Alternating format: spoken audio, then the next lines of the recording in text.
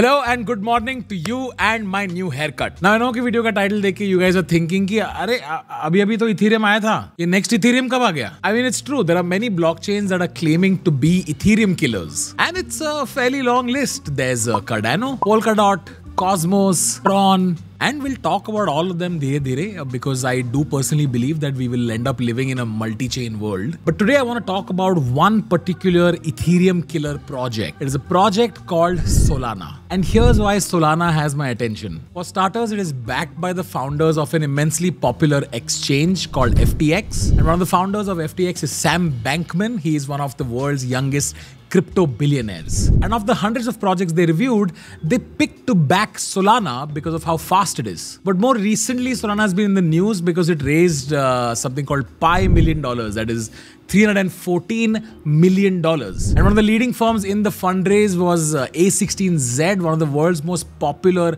venture capital firms. And as an Indian, Solana has my attention because one of the founders of Solana is a man named Raj Gokal. अरे भाई देसी लौंडा global stage पे मचा रहे हैं इसी बात पे एक लाइक हो जाए फटाफट whenever you hit the like button the algorithm recommends the video to more people and that would really really help the channel out so please do drop a like and leave a comment saying for the algorithm but jokes aside I recently also found out that Solana recently concluded a global hackathon inviting teams from around the world to participate and over 50 teams that participated were from India and for good reason because one of the prizes was reserved for a regional track that includes India with a prize pool of $50,000 supported by Devfolio and CoinDCX. The hackathon has now concluded. However, if you are an Indian developer, watch this video till the end because there's some really, really cool opportunities to build your own protocol or dApp on Solana, and I will talk about them at the very end. So, for all these reasons and the India Connect, I thought we'll do a video on Solana and why it's worth watching out for. So, let's just jump in. Alright, so many folks think that the tech behind Solana is an Ethereum killer, even though I personally don't think Ethereum is gonna die. However, Solana's tech is definitely worth having a look at. Like, let's compare some stats. First, let's look at transactions per second, aka TPS. While Ethereum can do 15 transactions per second, its competitors like Polkadot or Tron can do a thousand transactions per second. That's pretty decent competition, but Solana can do 65,000 transactions per second. If you thought that sounded impressive, let's look at the average transaction fee. So we already know Ethereum gas fees are a bit of a problem. Sometimes the fees are as high as 15, 30, 50 dollars for one transaction. Meanwhile, its competitors like Polkadot take around one dollar, but Solana transaction fees are as low as $0.0015. I know that sounds almost too good to be true. Usually, with such scale and low fees, there has to be some trade off, right? But Solana claims to be the most performant, permissionless blockchain in the world. And it's managed to achieve this through several new technologies which are considered breakthrough in blockchain tech. And blockchain tech, as you know, is considered to be a breakthrough in internet tech. And internet tech, as you know, is considered to be breakthrough in computer tech. And computer tech, as you, well, you, you got the picture. Previously, in our Ethereum video, uh, which you can check out here by pressing the I button on the top right, we saw how the Ethereum developers are in the know about the fact that, uh, you know, they're a little slow and a little expensive. And they're solving that using sharding, proof of stake, layer 2 solutions. But Solana uses completely different technology called Proof of History. And the team that's built it includes former employees from Google, Apple, Microsoft, Intel, you name it. So let's try and understand what is the tech behind Solana. But in order to do so, we have to understand something called the blockchain scalability trilemma, also known as the blockchain trilemma. Ethereum's co-founder Vitalik Buterin, he's the one who coined the term the blockchain dilemma. The idea in this dilemma is that there are three desirable qualities of any blockchain: decentralization, security, and scalability. But the trilemma claims that only two of these qualities can be maximized, and usually it's at the expense of the third. What this means is you could have extremely high security,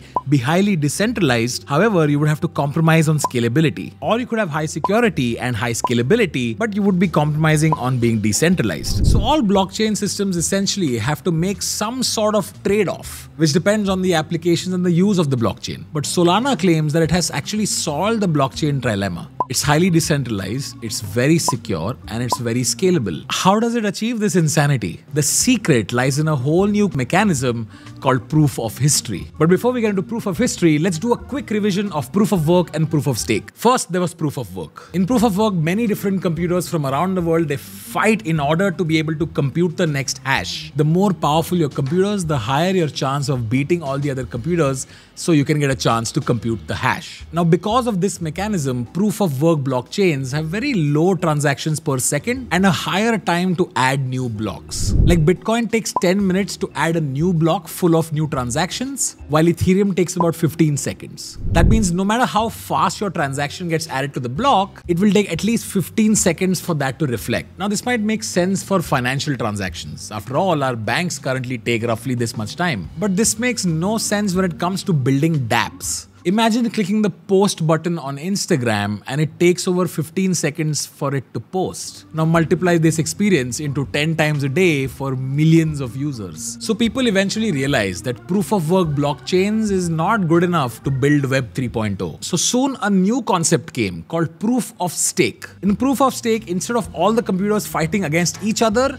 there's a lucky draw. Any one computer could be chosen to validate the transaction like a lucky draw, and this depends on the amount of ether that they have have stake. What this will do is increase the number of transactions per second significantly. Like Ethereum is expected to go from 15 transactions a second to 100,000 transactions a second. But here's the catch. Ethereum's block time, that is the amount of time taken to add a new block, goes from 15 seconds to only 12 seconds. In fact, the other proof of stake chains like Cardano or Polkadot, they also roughly have the same time. तो proof of stake से transaction per second पे तो फ़र्क आ रहा है लेकिन block time पे उतना फ़र्क नहीं आ रहा है और उसके पीछे एक बहुत ही fundamental reason है and the reason is called time keeping. Imagine me Naveed और राघव मैं यहाँ अपने पीसी पे हूँ नवीद मेरे सामने टेबल पे है और राघव वहाँ सोफा पे है ना इमेजिन कि हम इस नेटवर्क के नोड्स हैं तो Naveed is closer to me than he is to Raghav मान लो नवीद ने ये चार चीज़ें की है। He took a spoon of Tang उसने उसको ग्लास में डाला, उसने उसको घोला, और फिर उसने टैंग पी लिया।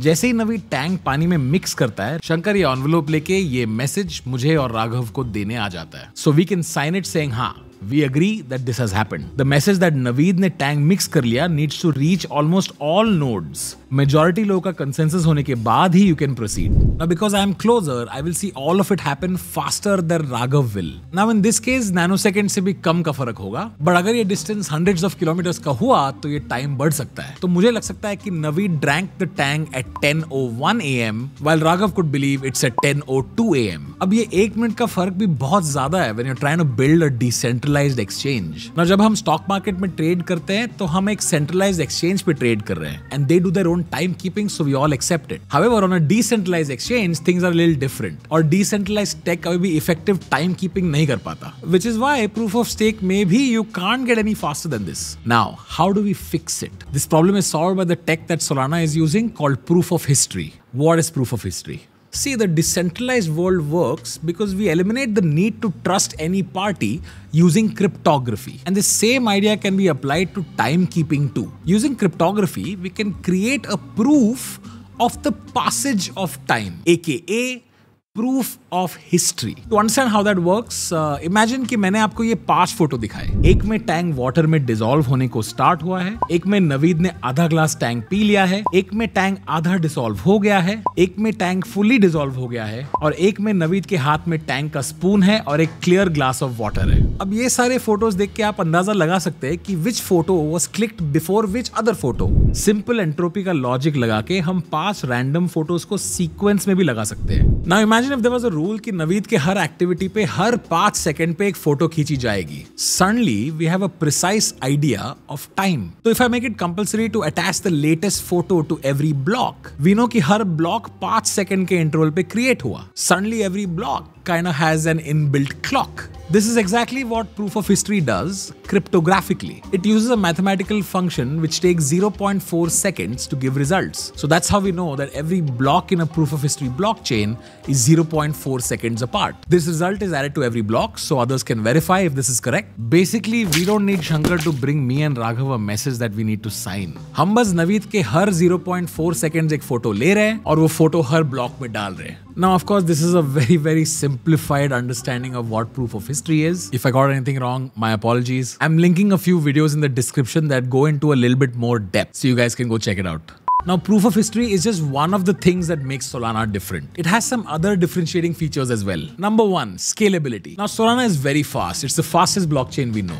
But in case that wasn't enough, Solana actually cracked a hack by which they can keep getting faster without changing much of their architecture. And they've done it by believing in something called Moore's law. Moore's law basically ये कहता है कि every couple of years the number of transistors in a circuit will double. And Solana is designed to exploit this idea. Solana हमारे computers के GPU cores में parallelly processes run करता है. Which means if the number of cores in the GPU just keep doubling every year, Solana can keep getting faster by not changing anything in their code at all. Number two, speed. Solana is the only blockchain today that has the transactional capabilities that is closest to the internet that we know as of today. 0.4 seconds and you're done. You actually have to see it to believe it. And you can see it live on the Solana Block Explorer. On this website, you can see the average slot time every time a new block gets added. If you scroll down, you can even see the current transactions per second. Number three, validators. Now, Solana currently has about 600 to 700 validators, which is very, very less compared to Ethereum.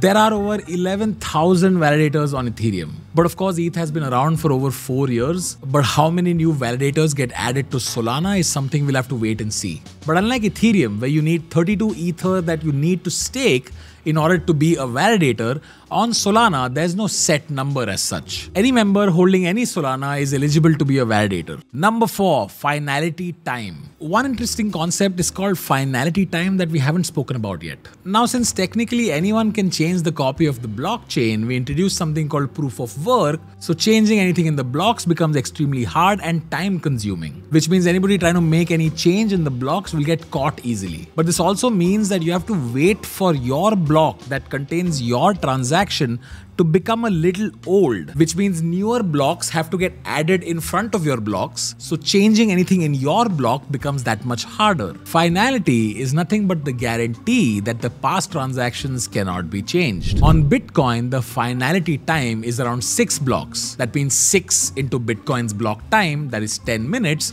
means roughly about an hour is what you have to wait before you get the finality time. Similarly, the finality time on Ethereum is about 2 to 10 minutes The faster you can add blocks, the quicker your finality time. Now, since proof of history makes adding new blocks extremely quick, the finality time on Solana is very, very low. Alright, so now let's talk about the Solana token, which is denoted by SOL.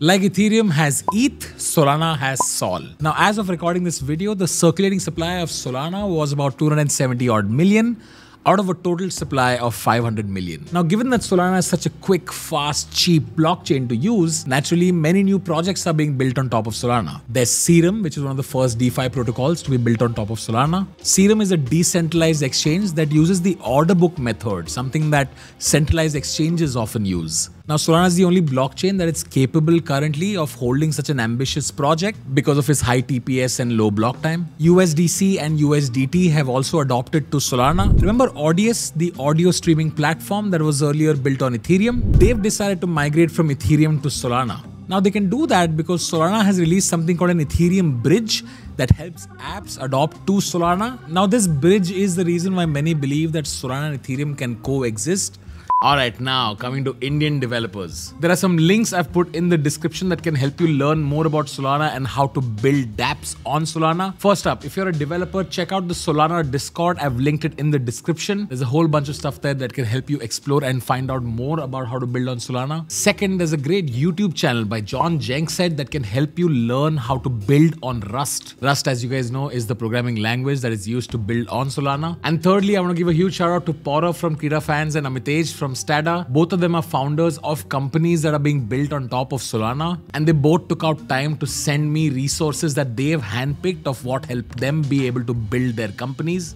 These are also linked in the description, so check it out. Hopefully, all these resources will help you get started on building your own company. All right, that's it for today's episode. Now, in case you haven't started off your journey in the world of crypto, you can do so. Download CoinDCX Go from the link in the pinned comment or the description. Use my code TANMAI100 and you can get 100 rupees worth of of Bitcoin for free. And do check out some of the other useful links in the description if you want to know what apps do I use to buy my stocks. And before we go, if you happen to watch this video till the very end, I want you guys to do one thing. I want you guys to go tweet to one of Solana's founders, Raj Gokal, at this Twitter ID. Tweet to him saying, Hi Raj, namaste from India. I think you would get a fun little kick out of it. On that note, see you guys next time. Check us out on Instagram. Make sure you hit the like button. I will see you on the next video.